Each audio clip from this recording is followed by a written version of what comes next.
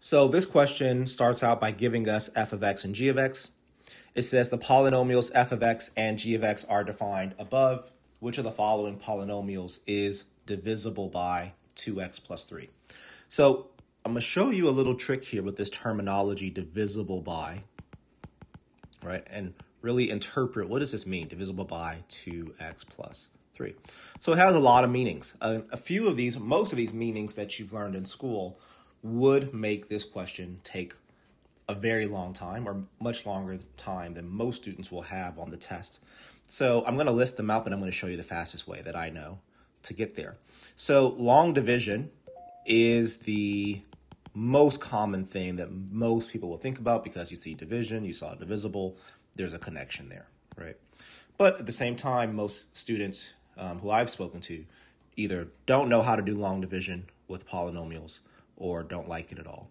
Another is synthetic division, which I think is a small improvement over the process of long division. But again, it does take time, and you know, most students don't like to do it. The third thing is factoring. And you may say, well, what does factoring have to do with divisibility? Well, if you think about it, if I were to factor a polynomial, so let's say I have a polynomial but then I factored it, and let's say I had these binomials here, right? So something plus something, something minus something, whatever it may be. I'm just making stuff up. But if one of these, so let's say this one, said 2x plus 3 on the inside, then that would be proof to me that 2x plus 3 um, goes into that polynomial. Or in other words, that, that, that the polynomial is divisible by 2x plus 3. Okay, so that's one way, and I like that way, so we're going to put a star next to that. The other way, which is going to be the most useful way here, and hopefully if, it, if you ever see another question like this, you'll know how to use it, is this idea of zeros. Right, so here's how zeros work. So you have a polynomial, and you set that polynomial equal to zero, and then you test an x value, right? Whatever that x value is, I'll just put the hashtag or number symbol here. And if that number, when plugged into the polynomial for the x, the x's, the x variables in the polynomial, if that number makes this statement true, then, right, here's how it works. So let's say I had x equals 2. Let's say I plugged 2 into the polynomial and I actually did get 0 out as a solution that would mean that x minus 2 is a factor. Or better said, that the polynomial is divisible by x minus 2. Well, why x minus 2?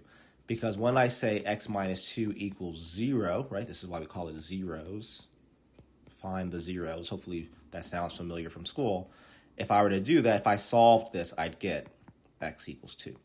So I'm going to use the zeros strategy here and um, let's see what happens. So if I am told, or if I'm what I'm looking for is that one of these answer choices is divisible by 2x plus 3, then by using the zeros method, I'd say, okay, that would mean that 2x plus 3 must equal 0 for the right answer.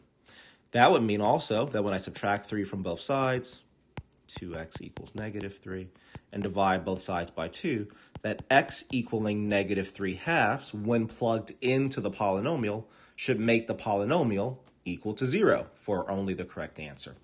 All right, so let's, let's do some erasing so I have some space here. Hopefully all of that made sense. So now I'm going to use this x equals negative 3 halves. So I'm going to simplify, right? So that's definitely something that needs to happen on this on this question. I'm going to simplify answer choice A. So answer choice A says f of x plus g of x. I'm going to add these together. I get 2x cubed because that's the only cube term. There's no cubed term in the g of x.